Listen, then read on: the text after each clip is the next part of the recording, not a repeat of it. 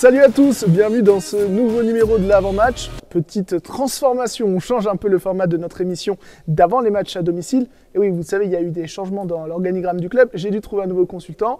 C'est donc Antoine Ferrier qui va m'accompagner cette saison. Salut Antoine. Salut Corentin. Ça va, l'été a été bon? L'été a été bon, court, mais Tant mieux. heureux de reprendre. Antoine que vous pouvez retrouver donc euh, chaque soir de match à domicile puisque c'est lui qui commente les matchs avec Fabé sur Handball TV. On va commencer par revenir sur ce qui s'est passé euh, la semaine dernière avec ce déplacement du côté de Billère. Vous allez voir, c'est aussi la nouveauté de notre émission, quelques images de ce match. Une victoire euh, 32-34 qui a été longue à se dessiner, mais ça fait deux points.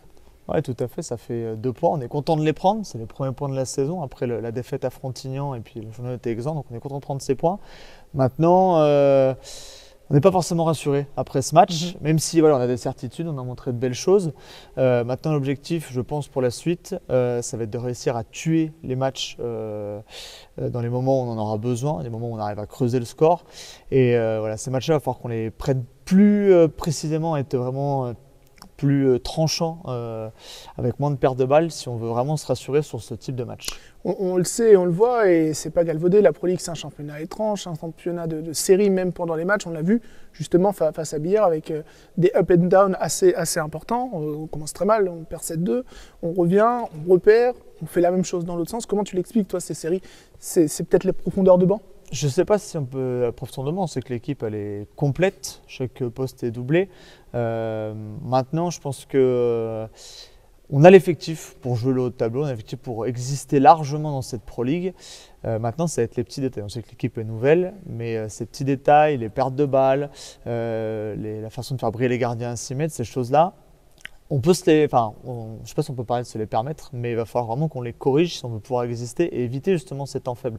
L'objectif, c'est de pouvoir avoir euh, des références, des matchs pleins et que ces temps forts, on arrive à s'en servir pour le reste de la saison. Exactement, il y a quelque chose aussi qui est, souvent dit, euh, un peu, en cliché, mais dans ces matchs de Pro League, euh, c'est peut-être moins le cas en Star League parce que peut-être que le niveau est, un peu plus, euh, est un peu, il y a un peu plus d'écart entre le niveau des équipes, mais souvent à la 40e, les matchs de Star League commencent à se décider. Là, on voit qu'en Pro League, si tu n'as pas fait la décision, tu sais que jusqu'à la 58e, euh, peut, peut se passer n'importe quoi. C'est vraiment ça et c'est un peu la, la magie, je pense, enfin la magie Ouais. de la Pro League où euh, on a l'impression que n'importe quelle équipe peut, peut créer, on va dire, l'exploit. Des grosses équipes qu'on a annoncées, euh, comme Célesta qui a fait le Final Four, bah, aujourd'hui il y a des défaites. Tout le monde a quasiment perdu. Alors, on a des surprises aussi avec Frontignan qui fait plutôt un beau début de saison. Maintenant, je pense que euh, toutes les équipes peuvent se battre et il faudra faire un match complet de 60 minutes euh, si on veut pouvoir euh, gagner euh, beaucoup, beaucoup de matchs euh, tout au long de la saison. Ouais, tout à fait. Le prochain rendez-vous, donc c'est le premier match à domicile euh, de, la saison en championnat. Réception de Besançon, ça sera ce vendredi ici même au Palais des Sports. Coup d'envoi à 20h. Petite nouveauté de notre émission, regardez, hop, je vous balance avec ma tablette euh, les, euh, des, des slides, des images. Vous le voyez, on est passé en bas de l'écran et on a les confrontations qui s'affichent maintenant à, à l'écran. Les cinq derniers matchs contre Besançon, c'est une défaite, c'était en septembre 2019 et quatre victoires. C'est une équipe qui, qui nous réussit euh, plutôt bien. Avec une dernière victoire, c'était en mars 2023, 37 à 25. C'était euh, à la Almazuka à l'époque. Tu t'en souviens? Ça commence à dater. Ça en date un peu, mais je m'en souviens. Mais c'était un gros gros match qu'on avait fait. Gros gros match qu'on avait fait. Maintenant, euh, ça date. L'équipe, euh, les deux équipes ont changé. Euh, donc, euh, je pense que ça nous promet une belle rencontre avec, des- avec pas mal de joueurs intéressants des deux côtés. Même si, euh, au vu des effectifs, aujourd'hui, je pense qu'on est, on, on peut se, se- On est favori on, est favori. On peut se dire, surtout à domicile, je pense que c'est l'occasion. euh, Premier match domicile en Pro League, euh, dans ce palais des sports, c'est l'occasion de marquer le pas et de, j'espère, réitérer la belle performance euh, de notre dernier match en championnat. Ce n'est- pas d'être prétentieux du tout, mais c'est des matchs que notre équipe à domicile euh, de surcroît est, est obligée de gagner. On, on sait qu'il n'y aura qu'une place d'accession directe, il y aura les playoffs derrière avec une formule un peu, un peu compliquée. C'est impossible de, laisser des points à domicile contre presque tous les adversaires. Tout à fait, je pense, qu'il y a des... je pense que les entraîneurs ont coché déjà, même si on sait que tous les matchs seront difficiles, on l'a dit juste avant. Maintenant, c'est des adversaires, on se dit, on le répète, il faut absolument gagner, il faut prendre les points. Je pense que perdre, si on commence à perdre, qu'on fasse euh, ce genre d'équipe, bah, on pourra se dire que la montée, euh, ça va commencer à devenir compliqué. Hop, je vous balance les, les top joueurs de cette rencontre. Ils sont deux. On a pris les deux meilleurs buteurs. Euh, que deux matchs forcément pour euh, les Septors, donc c'est un peu plus compliqué. Mais c'est bien Matic Suolejnik, notre pivot, qui est le meilleur buteur 33e meilleur buteur de championnat, 11 buts, 85% de réussite. En face, une vieille connaissance, Luka Braklazic, deuxième meilleur du championnat, 23 buts, 72%. Braklazic qui est un, nom bien connu quand même de Pro League. On sait il était parti en, Finlande avec le contingent français, Nicolas Gauthier, euh, son coach Christophe Viennet à Besançon actuellement un joueur capable de prendre feu et qui peut faire très très mal sur une rencontre. Tout à fait, c'est euh, ce qu'on parlait l'effectif de Besançon qui n'était pas forcément très très étoffé. Par contre, des joueurs très intéressants. Euh, Luca Berklasic qui effectivement bah là, ça fait les joutes de Pro League qu'on connaît très bien. Un joueur capable de planter 15 buts sans problème sur un match. Donc il va falloir vraiment le surveiller. Je pense que les entraîneurs ont bien calé là-dessus. Maintenant, faire attention parce que euh, peut parler souvent des gardiens qui s'en chauffent, mais euh, les joueurs, c'est le même principe. Et eh bien justement, regarde, tu me devances, hop, le duel apparaît maintenant à l'écran. Zoran Radic face à Dmitri Kmolov, euh, de, de, joueurs de, l'Est. Forcément, notre gardien Zoran Radic, 30,23% d'arrêt, notamment sur le dernier match, puisque c'est là qu'il a fait une grosse performance. En face, Kmolov, 34,58%. Il est le deuxième meilleur gardien du championnat pour euh, l'instant. Un joueur qu'on découvre aussi dans. C'est les pépites un peu de, de Pro League comme ça. Et un joueur dont il va falloir se méfier effectivement, c'est assez intéressant. Alors Radic, bon voilà, on, on le connaît un peu. il est un peu connu parce que l'année dernière, il a fait des apparitions avec Chartres.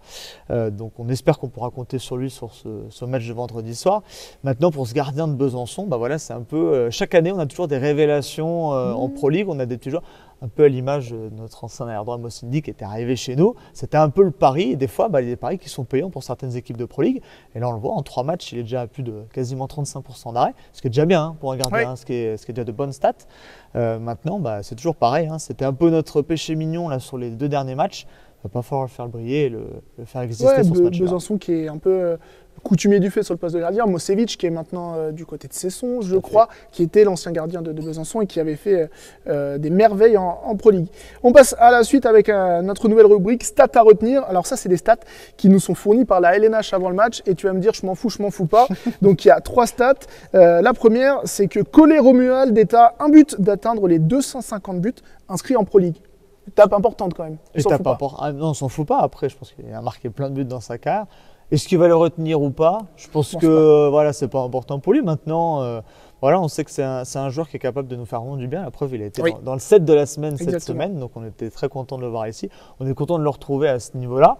Et on va avoir besoin de lui pour cette saison, euh, pour pouvoir exister, ça c'est sûr. Deuxième stat, on en parlait, euh, Braklazic Luka possède la sixième meilleure moyenne de buts inscrits en match contre les Septors de, de, tous les joueurs du championnat, avec 6,75 buts par match en quatre oppositions. Est-ce que oh, c'est là on va rien en faire. On va rien en faire. Après, c'est notre sixième bête nord, on peut parler de ça comme ça.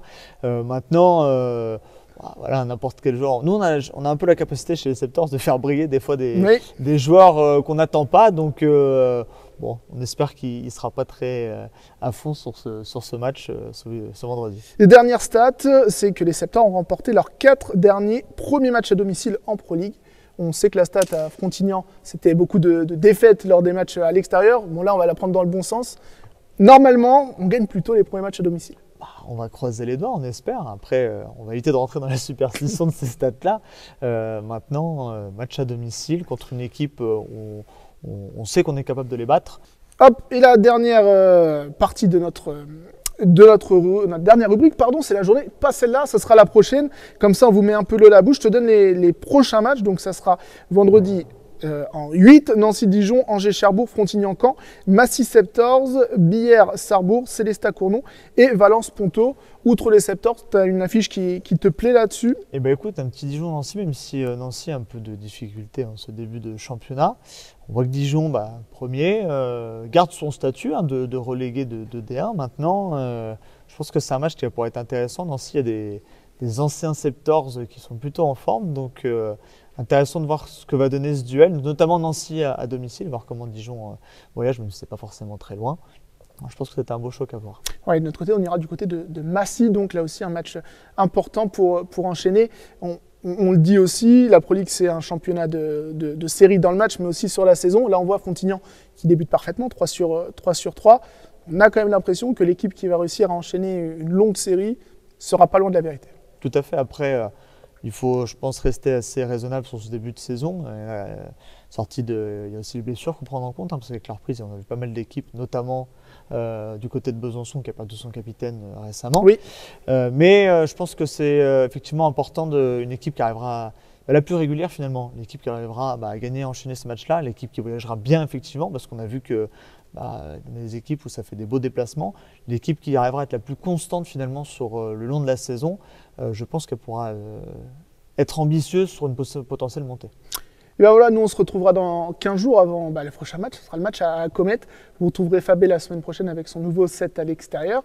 On vous rappelle les infos. Le match c'est ce vendredi 20h ici au Palais des Sports d'Orléans. Place à partir de 5 euros, toujours en vente sur septors.fr. Ça va être plutôt un beau match, je pense. Si vous ne pouvez pas venir, vous pouvez retrouver Antoine et Fabé sur Handball TV. Salut Antoine. Salut Corentin. À la prochaine.